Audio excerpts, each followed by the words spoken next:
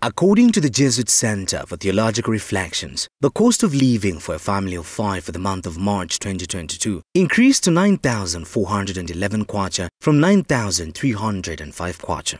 Stakeholders in the agriculture sector are worried that elevated diesel prices will further exacerbate the cost of living through high food prices. In Zambia, diesel, which is mostly used for production in different manufacturing subsectors, is currently more expensive than petrol. A litre of diesel is 25 kwacha 65 ngwee compared to petrol which is selling at 24 kwacha 15 ngwee.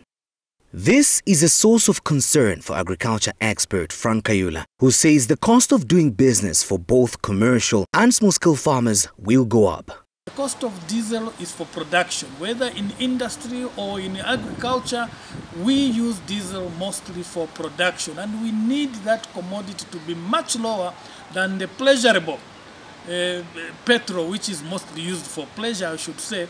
Even though food inflation reduced to 14.1% from 15.3%, CTPD researcher for trade and development Emmanuel Muma says high diesel prices will spike food prices.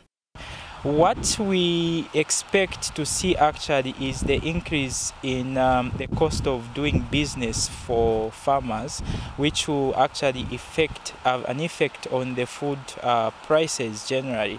The Millers Association of Zambia are also perturbed by high diesel prices with a deeper concern for monthly fuel price reviews.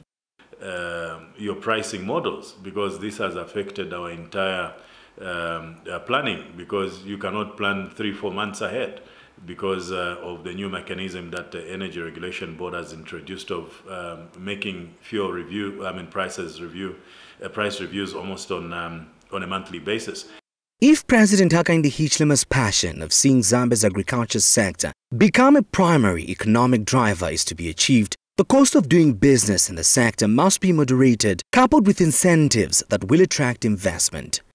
For News, Winston Mavor.